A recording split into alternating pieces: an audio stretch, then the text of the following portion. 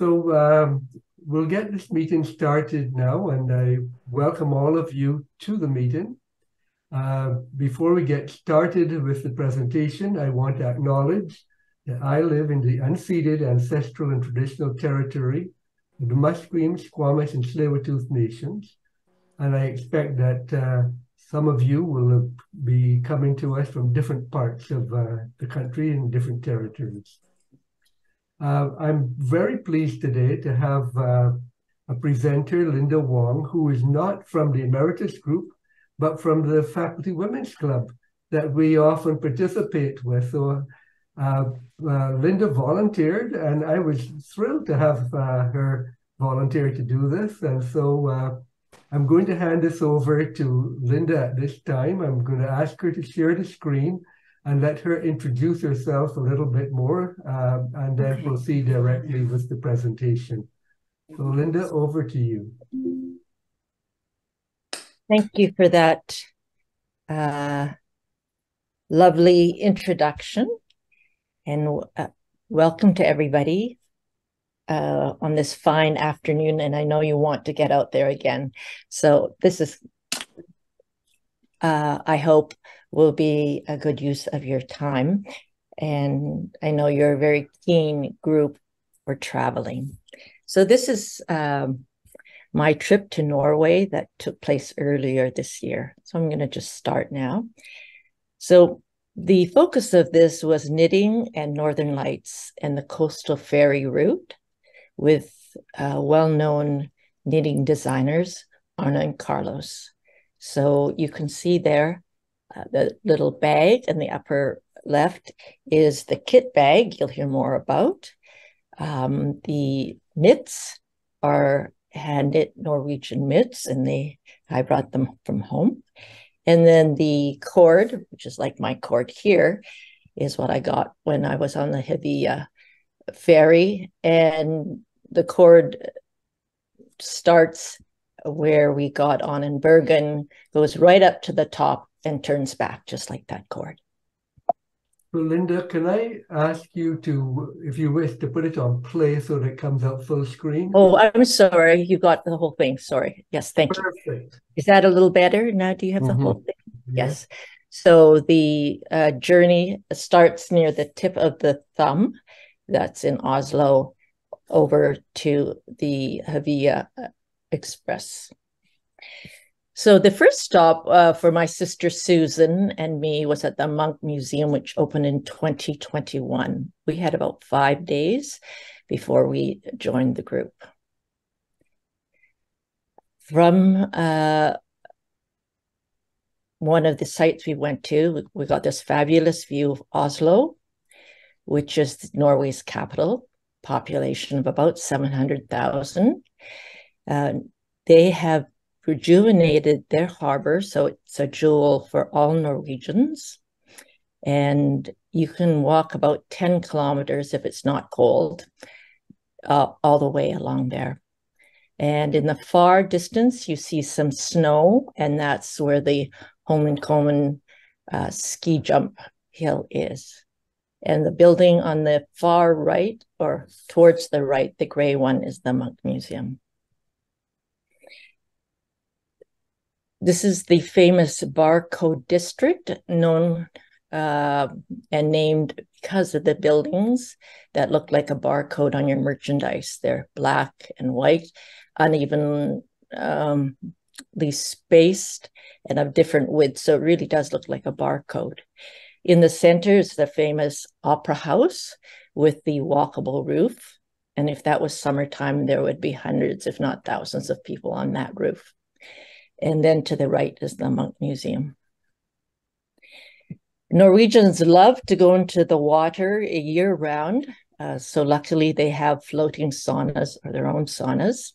And here we saw some people go into the ice encrusted harbor waters.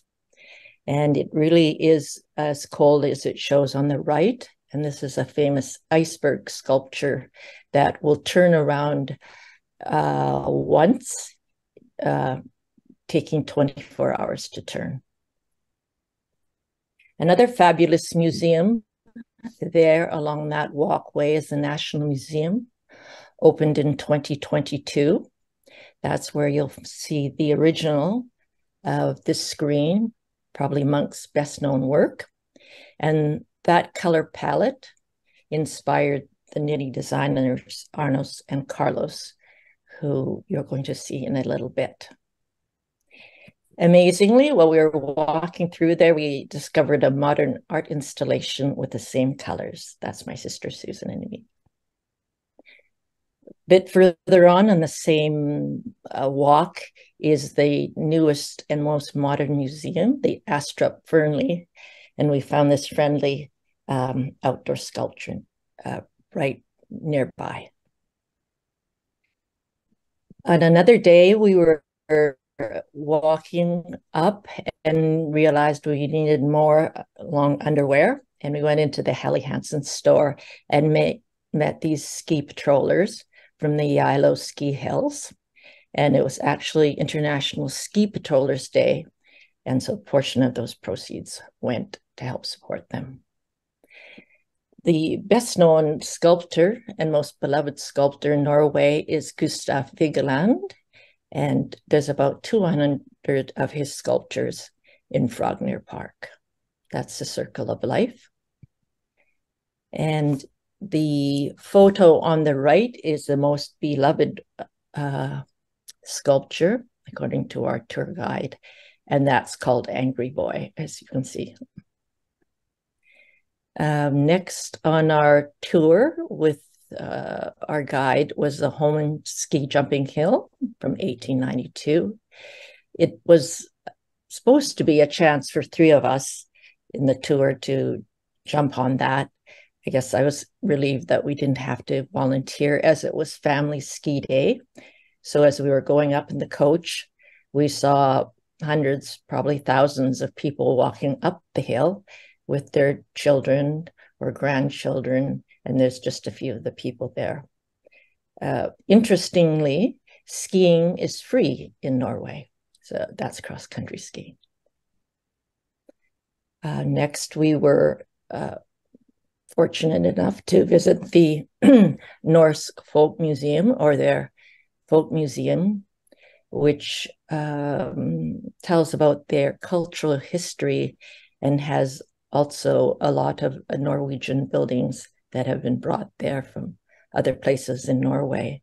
But unfortunately, going in February, it was treacherous, so they didn't have those open for us to see. Inside that building, we there's a big knitting display, and we were happy to find two Christmas balls uh, designed and knitted by our hosts, Arne and Carlos. So those are the two little balls on the right. Now, if you think of Norway and sweaters, you probably think of that one at the very top, that design. That's the Marius sweater, the most popular uh, design, and over 5 million copies have been sold of that design. And it became popular in a 1954 movie, and it was worn by a slalom skier and fighter pilot Marius Eriksen, and he's the young man with the elf hat on the far right of that photo. This is an interesting uh, cabinet with about 130 tags uh, showing different parts of that costume.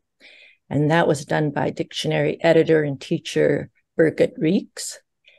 And that is part of the National Dictionary Project that took place from 1930 to 2016.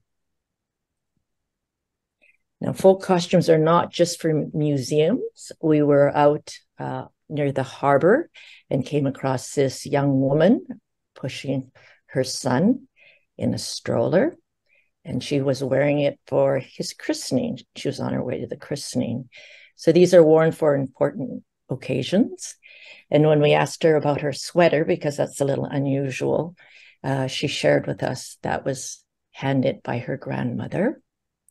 And if you are ever in Norway, um, people are very open. If you ask them, uh, you know, is that hand knit sweater?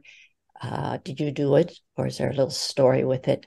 They will be uh, very accommodating to share that story. I'd like to look just at that costume for a minute because uh, we will be looking at uh, a store later on that sells them. And these shoes are very traditional, and everything that she has there would be a very traditional in the costume, other than the red sweater. After our stay in Oslo, we went on the famous uh, train, the Bergen Banen. It's about seven hours. And about 120 tunnels later, you will end up in Bergen.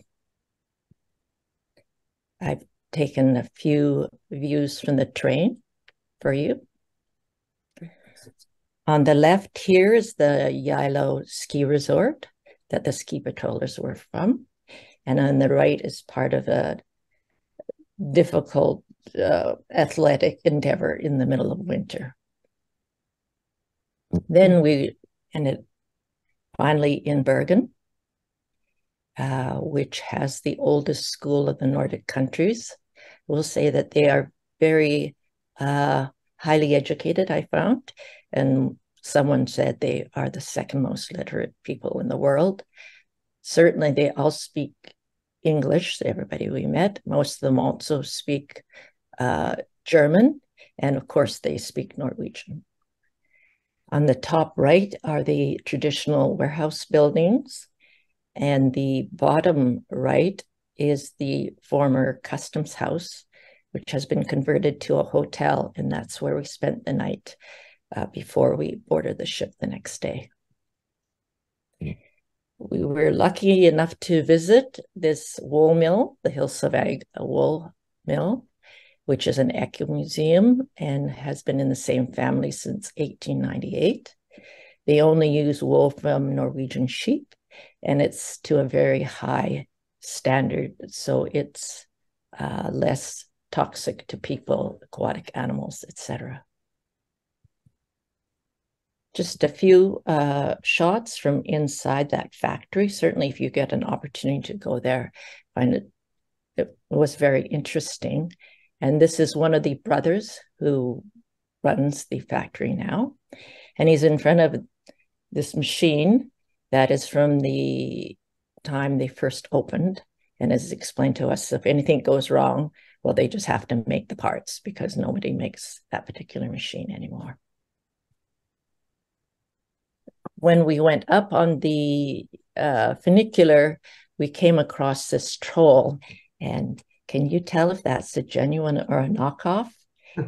if you're ever out shopping looking for a troll, make sure it only has four digits. See, it has a thumb and three more digits, and that's a genuine Norwegian troll. Now it was time for us to go onto the boat. There are two um, coastal ferries, the Hurtigruten and this newest one, the Havila. It's a very quiet way to travel, very sustainable. It has a rechargeable battery that can go four hours without needing to be recharged at the next port and when necessary, also uses LNG. Here's my cabin. It's very soothing, Norwegian decor, of course, Norwegian wool. And I looked out on the side where everybody got on and off, and the cargo got on and off. So that was lucky for me. Here we have hooks ready for that middle of the night announcement uh, over the public address system or your app that says there's the northern lights uh, can be seen. And by the by the, time i had the first sighting there was probably four times as many clothes on there because you better dress warmly as the ship does not slow down at all uh, for northern lights here we are meeting our hosts and receiving our knitting kits so that's on, on the right, holding a kit on his wrist, and Carlos, his husband and business partner. They're enthusiastic guides to everything Norway. As part of the sustainable uh, approach of this fleet, there are no buffets for, for food. It, all of it is served to you in small portions. You can have as much many portions as you like, uh, but they only come in small amounts, and that's to hopefully obtain their objective of reducing food waste to 75 grams per passenger per day, which if you've been on another, another ship, you'll know is quite astonishing. Here's our first stop uh, where we could get off in Ålesund. Um, the bottom right is the beautiful town of Ålesund, which is Art Deco because there had been a fire uh, just before that time period.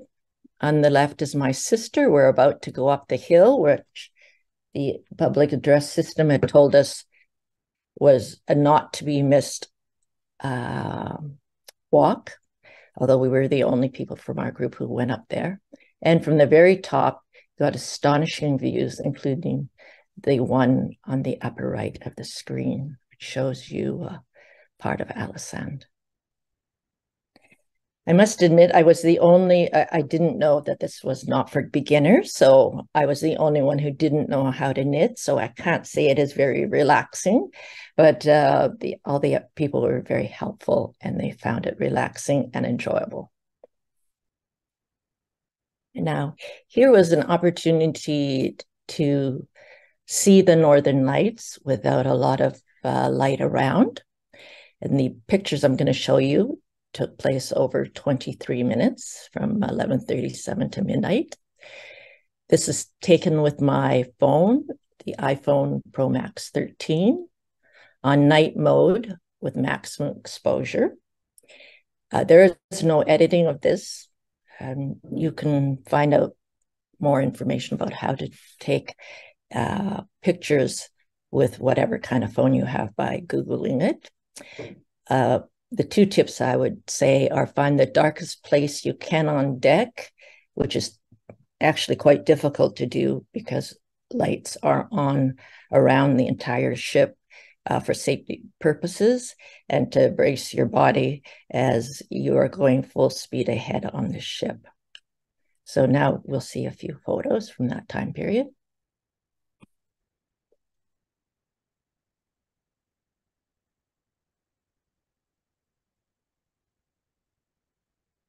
Next day, we were off to Trondheim to a Husfliden.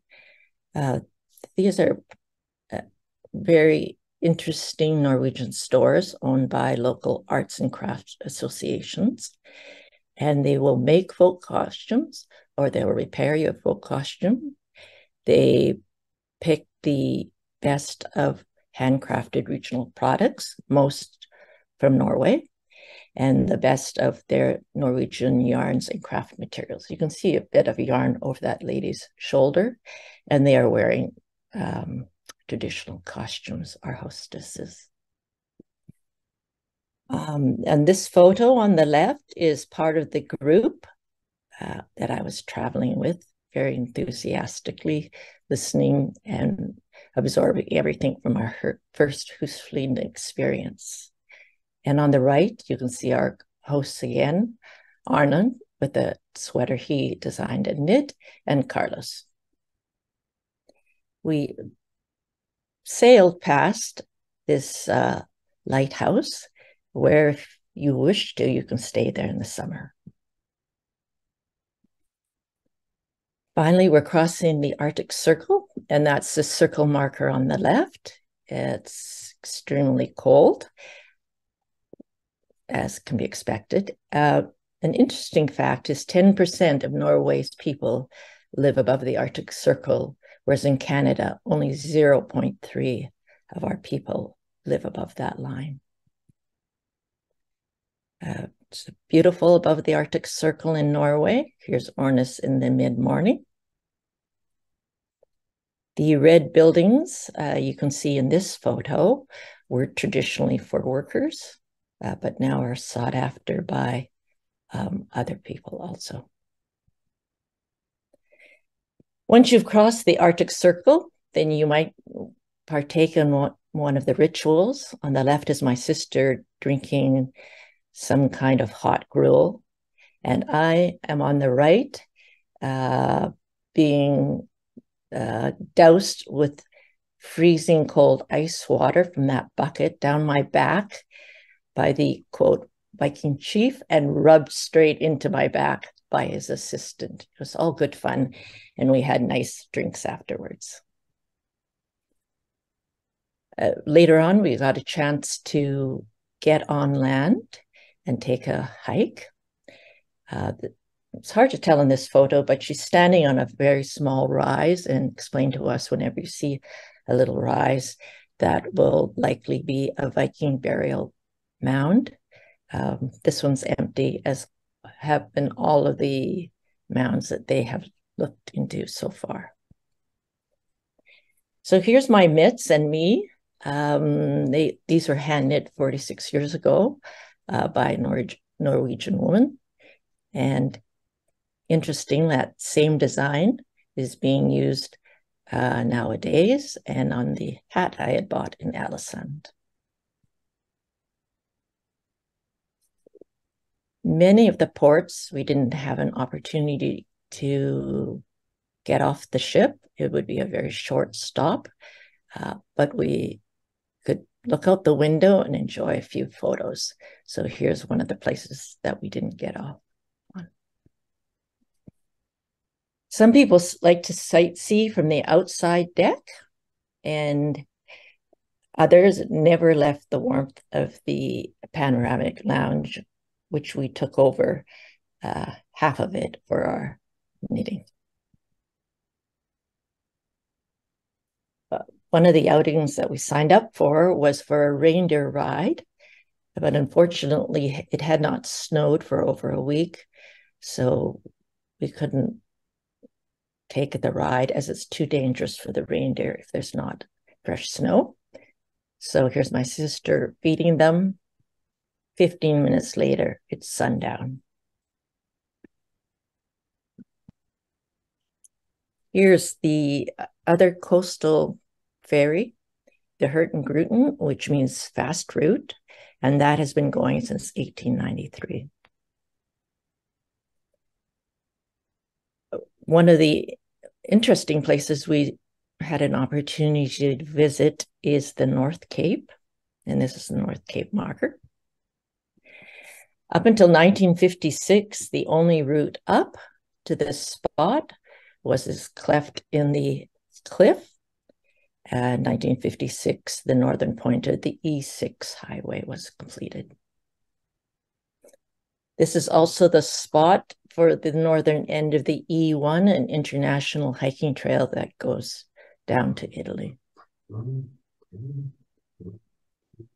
I'm trying to portray here just how cold and windy it is. Uh, so I hope you get a, just a little feeling about how absolutely freezing cold it is out there. There are many times when we didn't stop, and here's another one in the middle of a snowstorm. These are essential uh, ferries for the people that live up north. In here's in Honningsvåg, we were uh, privileged to see Bamse, which is a full sized um, reproduction of the Saint Bernard, who was the heroic mascot of the Free Norwegian Forces and a symbol of Norwegian freedom in World War II. Children in Norway, just like children here, are trying to grapple with pollution and all those global challenges. And this artwork on the left was um, created by the grade seven students in Honningsvåg.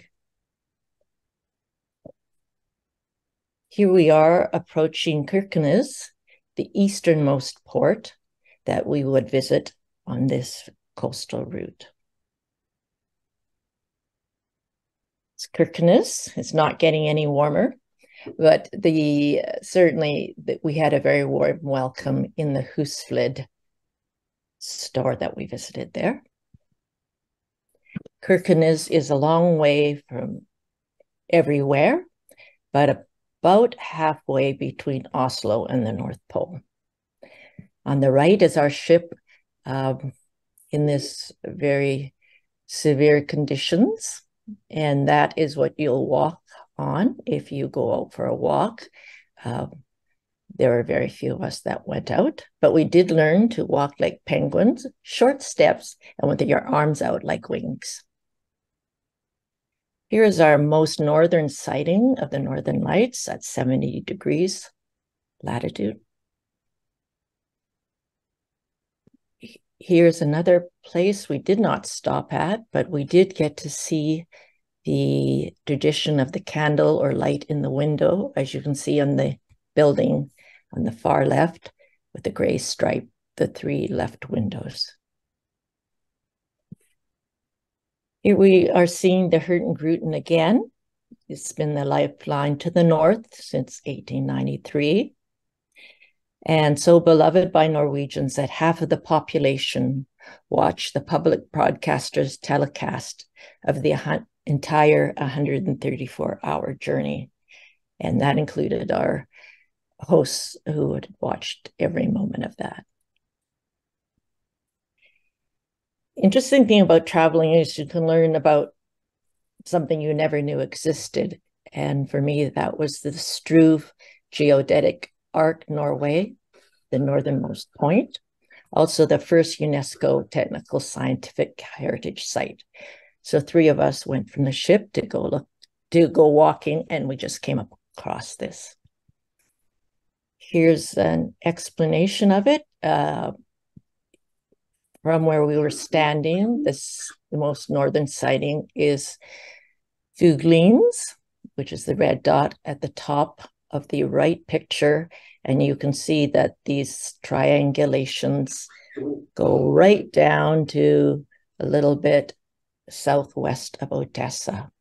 And this was a major project undertaken to see whether the Earth was round or flattened at the North and South Pole, as uh, had been predicted. Uh, here's a picture of us by that um, marker uh, or marking that spot. An interesting fact um, that I found out both from somebody I spoke with on the first day of my travels and when pressed one of the staff members that there are no electric vehicles allowed on the Havila ships. And why? Because if an EV caught fire, everyone would have to don survival suits go into a life raft or capsule, and the entire ship would be abandoned. Here's it uh, one day from the sunrise on the left, calm and uh, clear skies, to the right, where we are now in a major snowstorm. Going back, we are now crossing the circle marker again. And why are they able to get to these ports year round? It's because of the Gulf Stream that comes up. Here's the dining room and part of our group. I think I spy eight or nine sweaters hand knit by this group of accomplished knitters. There's pretty places uh, to knit and here's my sister and another lady knitting in uh, a well lit spot. And if you don't want to knit, you can always look out the window and see the beautiful countryside in the upper right. And on the bottom is one of the accomplished knitters uh, trying on a Norwegian uh, design that she had knit up, and her husband being the willing model. Here's one of the shops that we went to. Strikke Cafe means knitting cafe, welcoming people on Thursdays. And here we are in front of a display of Hillesvåg wool. That was the wool mill I showed you the picture of, with the mitts and uh, some more wool I bought, or a stash, as knitters call it. On our way back, we also uh, stopped at Trondheim, now uh, covered with snow. The previous time it had been sunny. And there's a lot of gorgeous outdoor sculptures um, wherever we went in Norway. The famous Nidaros Cathedral and uh, one of the outdoor sculptures. On this picture on the left is a drawbridge that could be operated by hand. And on the right are some of the uh, colorful buildings that line that section of water. Here, here's a was a sobering moment uh, when we came across the July 22nd, 2011 memorial. That is a memorial uh, that recognizes the day when 70 lives were lost in two terrorist attacks in Norway, including uh, five young people from Trondheim. And at night, there would be 70 lights lit up in that water. Trondheim as also has modern architecture and sculptures, as we can see in this building. Kristiansund was our last port for walking. And on our left was a sculpture of a fisherwoman with dried cod. And dried cod was very important in Norway. Um, oh, before they had oil, but a long time ago. And they supplied a lot of Europe with cod. That's so funny. So Norway has cod too. Another thing that's the same as Newfoundland. Yes, and uh, came across cod also when I was just in Portugal. Oh. So, so this was my first attempt uh, to knit uh, with a color pattern, and uh, it was a beautiful design. I uh, I'm not a very good knitter, but uh, that's our Arctic Circle wrist warmer with the reindeer and the Arctic Circle marker. And here we had show and tell. So it was our last sailing night, and our left we had um, Carlos uh, with one of the designs that they had made up, and he was busy knitting it. And the right is Arne, who learned how to knit when he was seven years old from his grandmother. And it's quite common that people uh, learn to knit very um, early on in their lives whether they're boys or girls. And on the bottom right was a chance to say uh, goodbye. And uh, and I are not getting fresh. It was actually very wavy, and he was holding me up so I wouldn't fall over. Mm-hmm. Um, and I'm wearing my little wrist warmer. They were. So now we're further south and getting closer to Bergen, and we can see uh, uh a chance for Norwegians to swim in the water. They just, it's just a part of their culture, they keep telling me, to swim year round. So the part at the front of that um, building is marked off if you want to swim in the water. Uh, I don't see anybody in there, but there was a lot of people in the outdoor pool there. Um, on our left is our pilot going back, I believe. And here's our bridge. We're going to go into the harbor back to Bergen. And here's my sister and me who survived the cold. And here we are in Bergen again. Here is our last sunset, um, our last evening. And it was a very special time. And we felt very blessed to get yet one more beautiful sunset. And here are, we are home at last. Here's my husband who's hoping I would knit him a Norwegian sweater while I was away. But uh, I was luckier to find in a vintage shop this Lillehammer 1994 Olympic sweater which has all sorts of different motifs in it. And he's very happy with it. And I think I am under the uh, time, so there's time for questions now. But thank you. So thank you very much. And I will stop sharing. I think that's what I'm supposed to do, is it? Now? Yes, yes. Okay. Thank you. Let me uh, change my view. Stop sharing. Yeah. There we go. Excellent. So, Linda, thank you so much for a spectacular talk. I have a first question is what motivated you to go to Norway to start to knit? And where did you get these 40 something years old mitts from? Okay, well, I can answer part of it. Um, I was interested because I had been, ooh, I don't know if you can see this. I had been in Nunavut. Can you see that? I can't see what you see. I don't. Yeah. Anyway, I'd been in Nunavut um, the previous September, so I became very interested in the polar area. Then I had a chance to read this book, which is fantastic The Greatest Polar Expedition of All Time The Arctic Mission to the Epicenter of Climate Change by Markus Rex, which was a number of nations getting together. And they they were interested in this because a pair of pants ended up off of a coast of Norway, and that's um, anyway. I won't give it all away, but anyway, I really recommend this book. It's so fascinating. And um, how did we pick this in particular?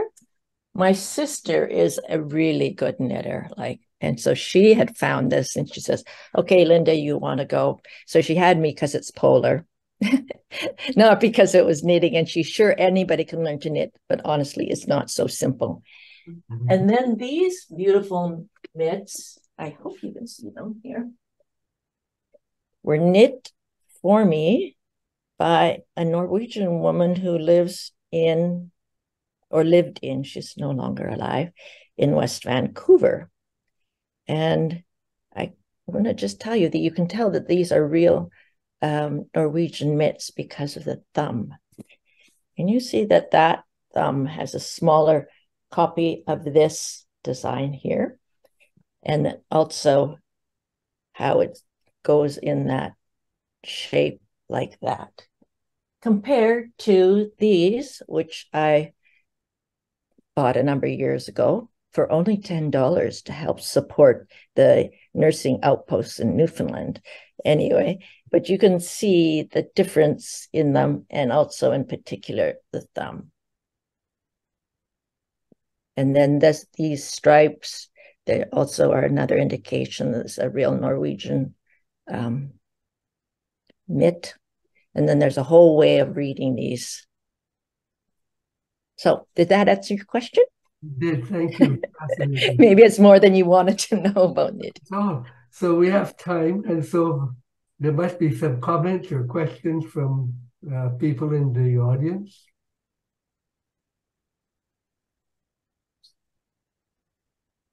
If not, I could. Um, so, Linda, could I ask you a question?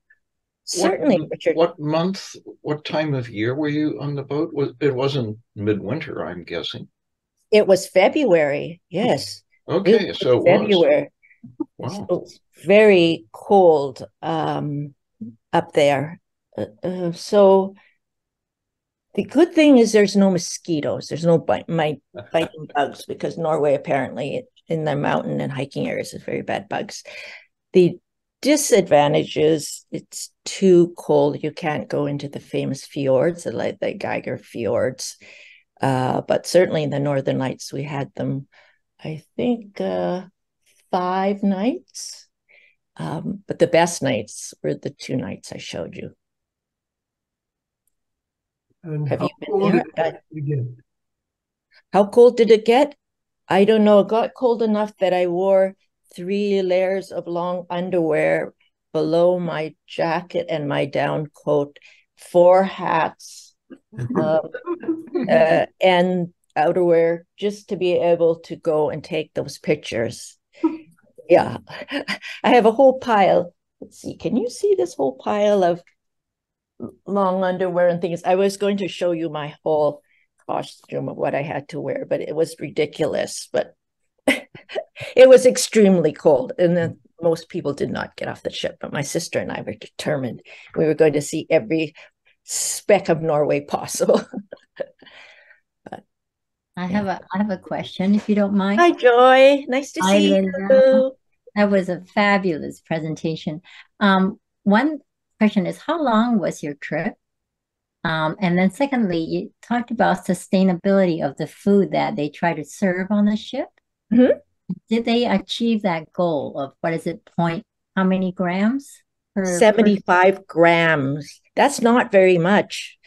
That's So really starving to death? no, that, no, uh, that's a food waste. You know, if Uh-huh. you've gone on a ship before, often people take, you know, a large plate, they take this, like, you know, you know, everything, and they just take a little bite. So their idea is they're um, to plate up everything very beautifully from locally made um, foods and locally grown and locally raised uh, to reduce the um, environmental impact. And then also, if they serve it to you in small portions, you can ask for two, three, four, the same thing if you want, but you're not going to end up wasting it. Did that answer your objective? If I could just from what I saw, because most people um, did finish it up unless they really, really didn't like it. But most people wouldn't order it if they didn't like it. Oh, and that's why I'm wearing this because I have this gold cord. Um, that meant that you could choose from the menu where you could have the local food. So every three days, the menu would change. Um, or you could order something like a hamburger if you wanted. Nobody did that, but you could. Thank, Thank you, you. Thank you. Oh, did I tell you when we went? We went in February. Um, so we were gone for, I think, about 18 days, something like that, 18 or 20 days. So if I could ask another question, Linda, and, and I did enjoy your talk. I thought it was just brilliant. But uh, the ship, is it, would you say primarily a tourist ship that carries some freight, or is it a freight ship that carries some tourists? Now, that's a good question because um, it is actually, I guess, like for us, or for the people that live on the coast, it's like the bus. You know, we have the bus here because some people would just go, you know, from one stop to the next. That's Okay. how they do it. Mhm. Uh, and then the people just wait, uh, you know, they're only going a short stop. And then there we have a whole uh, number of people that are going for a long time. But really, it is the way, apparently, it, it would take months and before the ferry system came in, the Hurtigruten in the late 1800s, it would take months and months for any mail or anything to get there. And now it would be, well, it couldn't be more than a, a week if you started at one end or the other. So it really is a vital part.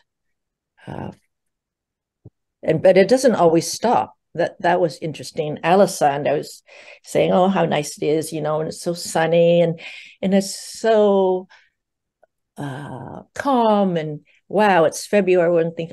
And then they were saying, well, last week it was so stormy that they couldn't stop there. So when that happens, the people just have to get off, you know, on another spot and then take uh, a coach back to where they want to go. But So you said it was electric. Did it have to charge up then? It stopped every four hours and charge? And how long did it take to charge? Well, I'm not an expert on this, but yes, it can go up to four hours. And apparently, when it was in dock, it would charge up. But it can't. I don't think it could. It could go all of those distances because sometimes we went a long ways, especially further up north when there's not as uh,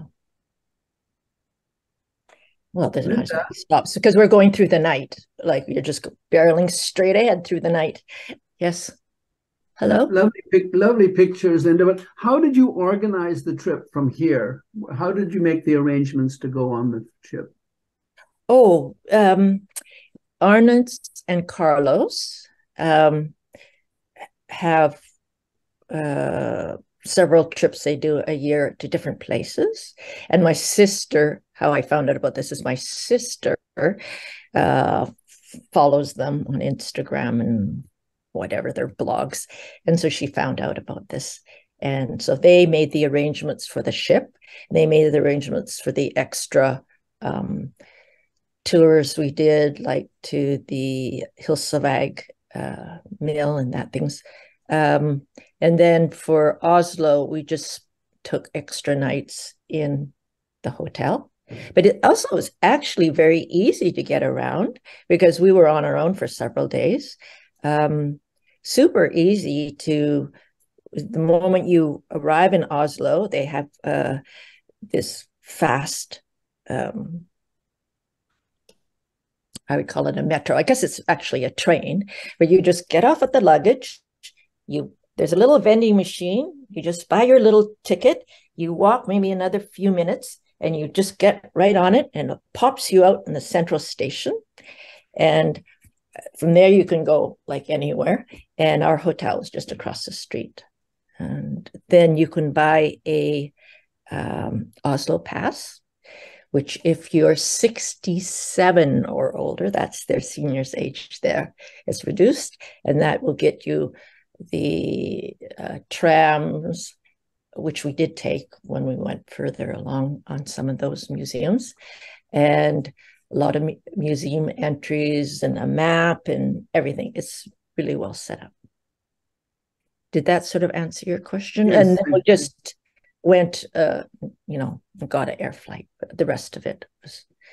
So, Linda, can I ask you, when you were up north, you had some four layer underwear days. In Oslo, was it, you say it was one layer or two layers?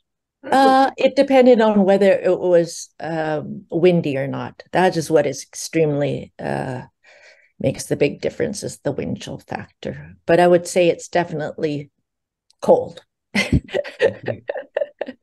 Especially as we only went with carry on luggage. So it's very challenging, right? Mm-hmm. But yes, yeah, so we each bought two more layers of long underwear, top and bottom, to put on what we already brought. It's it is very cold, especially on the ship, and especially if you like to get up early to take photos.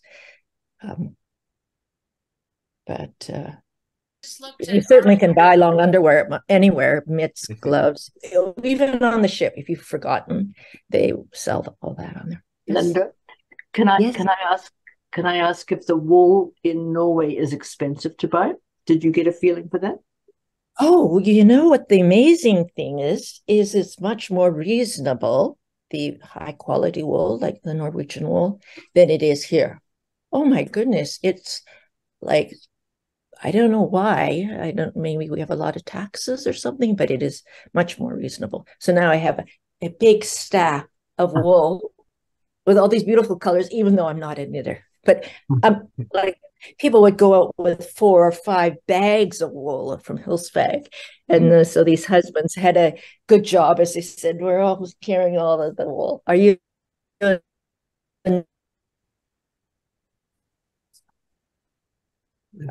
it, it, looks it looks like the the the two men are on uh, YouTube as well. They have uh, how to knit videos, etc. Oh uh, yes, they're on YouTube. Oh yes, there's all sorts of videos, and they also go to other places.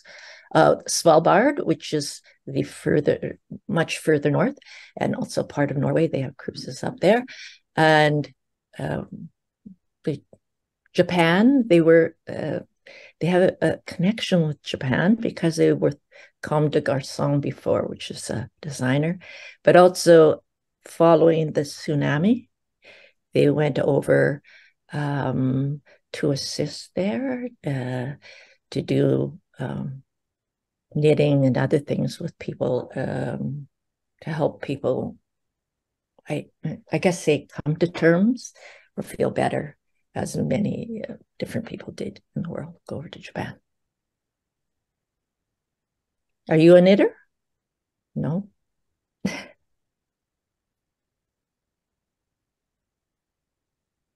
Yeah.